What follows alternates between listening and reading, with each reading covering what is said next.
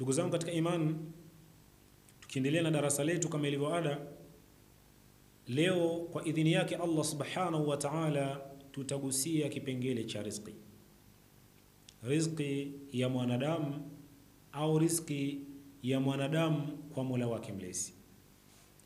Katika hadithi ambayo ameisimulia Abu Huraira radhiyallahu anhu au Abdurrahman ibn Sakhar, katika kipengele cha mwisho kabisa, mwanadamu anapojikusanya katika tumbo la mama yake, jambo la kwanza Mwenyezi Mungu mtuma malaika, yursilullahu almalaku, yani Mwenyezi Mungu anamtuma nani? Malaika, liyunfikha fihi ruhu, ili mwanadamu apuliziwe roho.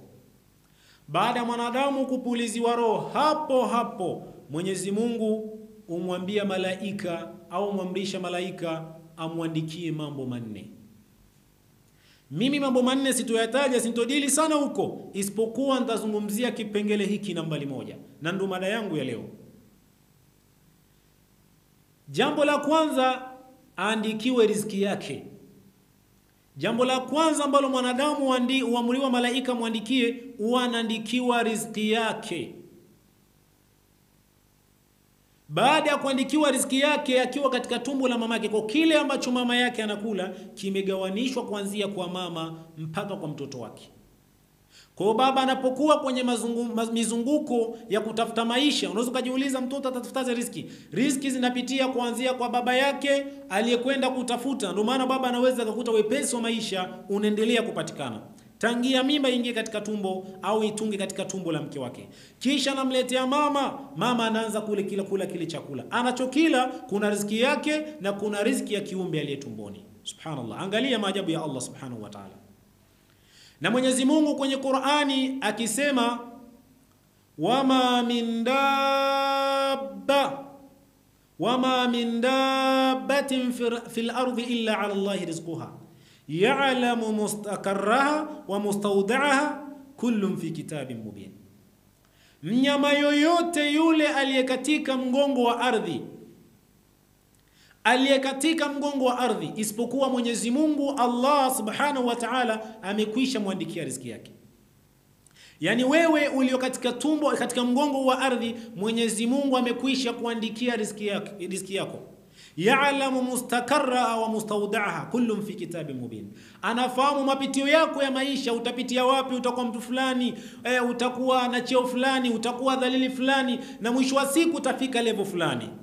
Mustakaraha wa mustawda'aha kullun fi kitabin mubin, kila kitu kimekwisha weka kwenye kitabu kinachobainishwa na ndo maana mwanadamu anapotaka kukata roho, malaika wa riziki ukimbilia mashariki na magharibi, kazi kazini na kusini, kisha ukosa chochote, urudi kwa huyo mwanadamu na kumwambia, ewe mwana wa Adam, haki yangu mimi nimeenda mashariki, magharibi, kazi kazini, kusini, lakini sijaona riziki yako na ndo maana hapo wataanza kufosi, wanamnywisha uji, uji unatokea puani, mdomoni, uji umegoma, koo limefunga, ukura, ukurasa wa riziki umefungwa.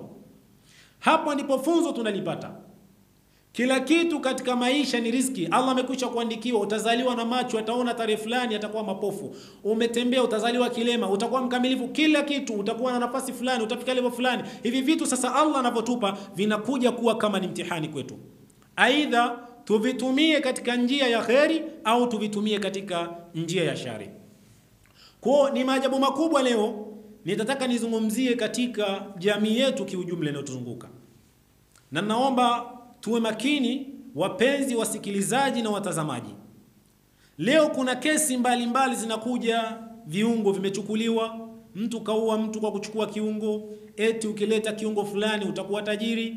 Imefika hatua fulani, nikimfitinisha mwenzangu kazini nikapata, nitapata nafasi hiyo mimi Ah, mimi nikienda nikimroga mwenzangu shuleni kwa kumfanyia ushirikina akakosa masomo fulani, labda mimi nitaendelea mimi mwenyewe juu, sijui nitumie akili zake. Haya mambo hayapo. Hauwezi kutumia daraja la mwenzako kuvuka, na wala hauwezi kuzuia riski ya mwenzako kupanda juu, isipokuwa wewe uta, utaweza kuleta mazunge mazunge hivi, utaleta mitihani mitihani na mambo ambayo yatakuwa ni kero kwa mwenzako, kama Allah subhanahu wa ta'ala anasema la yadhurrukum illa adha haitofika hatua ya nyinyi kudhurika kwa chochote kuwapa madhara yoyote isipokuwa maudhi ndio yatakayowakuta. kero zile mbalimbali. Sasa watu wamekuwa na akili ambazo akili zao ni kuto kuelewa na kuto kumtambua Mwenyezi Mungu au kuto kusoma maneno matukufu ya Allah Subhanahu wa Ta'ala na kufuatilia mitumi wake.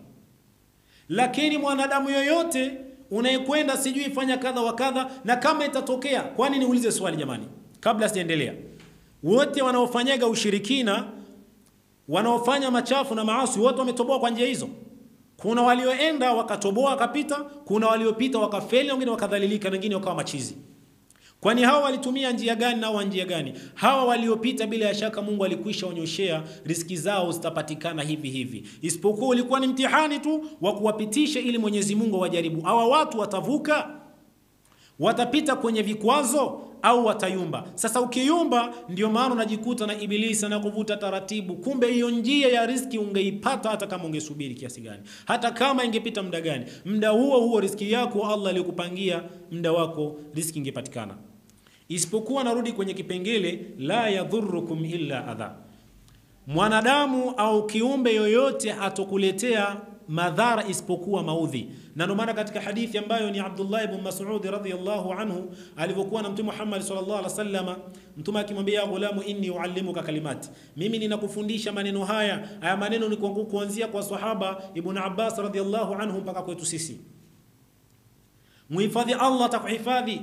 Lakini katikati ya hadithi Mtume Muhammad sallallahu alaihi wasallam akielezea, lau kama watu wangelizikusanyika ala an yadhuruka bishaiin lam yadhuruka illa bishaiin illa kad katabahu llahu lak, wajikusanye ili wakupe madhara, yale madhara wasingekupatia isipokuwa Mungu alikwisha yaandika, hayo utayapata.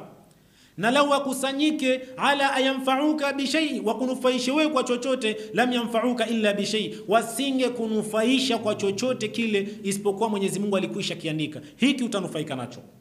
Hii ni tauhidi kubwa na maana watu tukiwa na mazonge kapita siku mbili tatu, kazini hapaeleweki, maisha yakawa magumu, tunayumba kwa sababu ya ubinadamu. Mungu ndiye alivyotuma na hofu eh, lakini sije kafika hatua hapo ofisini kwako unaishi na binadamu ukawafanyia ukorofi, Mungu ataleta riziki.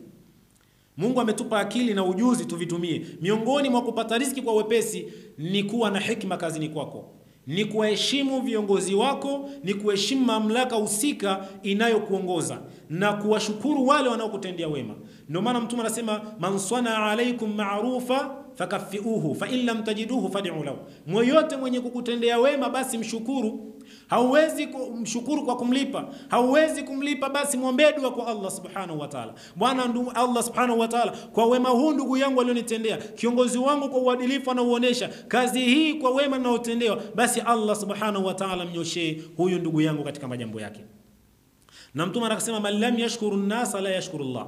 Kama wewe una tabia ya kibri, yani ujeuri, ukifanyiwa jambo yani unajiona upo juu, yani una mimi hakuna chochote tu, una hekima yoyote kwenye kuanzia kazini mpaka wanaokutendea wema, elewa wazi kwamba Allah Mtume Muhammad, Mtume Allah Subhanahu wa Ta'ala amesema, asiyemshukuru asiyeshukuru watu, basi hata Mwenyezi Mungu hana shukurani, yani hamshukuru Mwenyezi Mungu, hana shukurani kwa Allah Subhanahu wa Ta'ala. Kwa ndugu zangu, nikisema riziki inaweza ikawa na misukosuko kwa sababu ya hawa watu hawa vimbimbimbi ambao wanapita kulia na kushoto kuleta kero katika maisha ya watu. Kama mada zangu za nyuma ambavyo nilizungumza, kuna jitu lina hasadi, yani akikuona wewe una wema tu anakutafutia uchafu, anakutafutia madhara, anakutafutia mbinu kera. Ni Alimuhimu ile riziki unaipata kwa ufinyo na kwa tabu. Wengine wanakufanyia mpaka ushirikina, ndiyo madhara wa maudhi utayapata, lakini riziki yako itabaki. Sasa haya yote kuyaepusha, tulizungumza katika mada za nyuma, tukakupa dua za kusoma kujikinga na hasadi, tukasema suratul falaq tukasema suratu Nas, suratu Ikhlas, suratu Yasin, mpaka soma mpaka mwisho wa aya la yubsirun. Tukasema soma na suratu Radi, fika pale kwenye sijida, sujudu kwa Allah subhanahu wa ta'ala. Muombe ya Rabbi, nina matatizo ya Rabbi, kazini kwangu sio kuzuri ya Rabbi, jamaa nanipa maudhi ya Rabbi, nina mitihani fulani. Mwenyezi Mungu atakusaidia. Imeshindikana zaidi ya hapo, nikazungumza kwamba kuna watu Mwenyezi Mungu amewapa fani mbalimbali mbali. Yani wewe huwezi kugangania kuwa fundi garage kwa kuwa umenunua gari. Gari utaitengeneza mwenyewe, uiweke vyoo mwenyewe, ikiharibika utengeneze mwenyewe, dereva mwenyewe, uwe na hela mwenyewe, ununue mwenyewe. Haiwezekani. Mwenyezi Mungu ametuwekea vipengele mbalimbali mbali ili tusaidizane, na kusaidizana ndio kinapatikana kipato. Umeharibikiwa na gari, fundi anatengeneza unalipa hela. Umeenda ofisini kwako wewe, kazi wewe Allah akakupa hela, umefungua ofisi. Ofisi huwezi kufanya kazi zako mwenyewe, lazima utahitaji staffs wa kufanya kazi hizo. Watakapofanya kazi, mtagawana nini? Mtagawana riziki. Ndio vipengele vya riziki vinapokuwa. Sasa imepita huko mitihani, imeshindikana, umeomba dua ikashindikana, fata watu wajuzi na kama una jambo lolote la kusumbua, fata wenye kujua ili uweze kusaidia katika matatizo. Na ndio maana nikarudia, sisi katika mambo haya huwa tunadua tunafanya, lakini mwisho wa siku, kama una jambo linaweza kusumbua, chukua namba zetu kama hapo zinazoonekana kwenye skrini hapo, unaweza ukatupigia simu tukakupa ushauri ufanye nini, uongeze nini, au dua, dua gani uweze kuifanya kutokana na kero zinazopatikana katika njia za riziki. Lakini hayo ni maudhi ili maudhi yaondoke, lazima umwelekee Allah subhanahu wa ta'ala. Ili maudhi yaondoke, lazima uwafate wajuzi waweze kukupa namna ya kuweza kujikinga na haya matatizo na hii mitihani ambayo Allah inakukabili katika riziki. Lakini kipengele cha riziki auwezi auwezi kuitafuta riziki kwa fujo, kuziba riziki ya mwenzako ili upate riziki. Na narudi kwa hawa watu ambao wanachukua viungo, sio wanafanya kadha, mtu mwenye madhara. Haya ni madhambi yaliyokuwa makubwa. Yoyote mwenye kuleta madhara ya kifo kwa nafsi bigai pasina makosa, basi mtu huyu huonekana kwamba kaua dunia nzima. Unaitafuta mali leo kwa kumuua mwenzako, unaonaje? Una, wewe unajua muda wa kufa kama umebakiza lisali moja. Inna Allaha alimun khabiru, mwenye habari za kesho na muda ujao ni Allah subhanahu wa ta'ala peke yake, sio wewe. Sasa kama ni hivyo, basi mwelekee Allah, nafata kanuni ambazo Allah amekupa, usipite kushoto na kulia, mwisho kuletea wenzako madhara au kujiletea madhara. Kwa ndugu zangu, katika vipengele vya riziki nataka nimalizie katika suratul Ankabuti aya ya pili, Mwenyezi Mungu akisema ahsiba nnasa an yutraku an yaqulu amanna wa hum la yuftanun. Ahsiba nnasa, wanadhani wanadamu, an yutraku, wataachwa hivi hivi, an yaqulu amanna, kwa kuwa wao wameamini wahum la yuftanun, wasijaribiwe wasipewe mitihani. Walaqad fatanna alladhina min qablihim, na tuliwajaribu waliokuwa kabla yao. Falialamanna Allahu eh, alladhina sadaqu walialamanna alkadhibin, Mwenyezi Mungu atawaonesha wazi wazi, aoneshe wazi wazi wale ambao sasa wameamini kweli na wale wasema uongo. Unaona, kuta mtu anaingia kwa Mwenyezi Mungu, eh, mambo yamekuwa hivi, amepata mtihani kidogo bwana, kwani wewe ukienda kwa njia ya shetani utatoboa? Wamekwambia Mungu anayegawa riziki, upo katika imani yako njema, utakwenda huko katika imani nyingine, utamlilia Mungu mwingine. Huyo unayekwenda kukupa madhara au kumtaka msaada kwa njia ambayo ni batili, atakupa riziki au njia za riziki kwa namna nyingine. Bila ya shaka, Allah subhanahu wa ta'ala mitihani anatupitisha kutupishia katika mitihani hii, tutafute solution kila kitu, focus on solution. Lengo ni utatuzi, lengo sio kumkufuru Allah subhanahu wa ta'ala. Na utatuzi ni upi? Tumeelekezwa kwenye Qur'ani na katika sunna za mitume za mtume wetu Muhammad sallallahu alaihi wasallam na mitume waliopita. Ndugu zangu katika imani, namalizia neno langu la mwisho, tuache uzembe.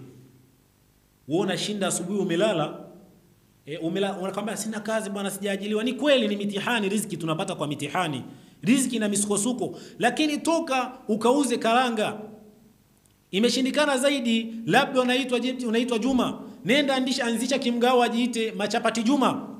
Katika kujiita majina hayo, wewe ili mradi unatengeneza jina uweze kupatia riziki elfu hamsini au elfu kumi na kutosha wewe kuanzisha mtaji kuliko kukaa ndani umelala.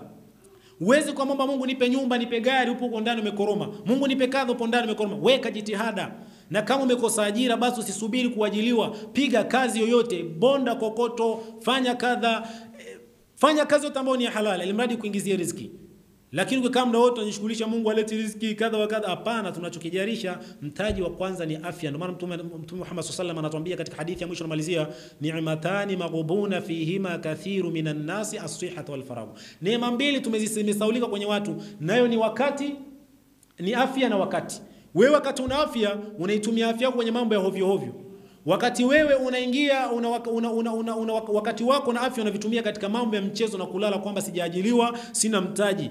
Ukipata elfu kumi hiyo hiyo inakutosha kufanya biashara, kwani mwisho wa siku wewe ndio unayejua uchungu wa nafsi yake. Kullu nafs lamma alaiha hafidh, kila nafsi kuna mwenye kuichunga bwana. Wewe unayejua nina shida ngapi, nikiuza nitapata 500 200, ninunue chumvi nipate chakula kadha wa kadha. Na Mwenyezi Mungu kupitia njia hizo atafungua kabisa, na kwa dua zako na adhkari unazozifanya, basi Mwenyezi Mungu atatilia wepesi.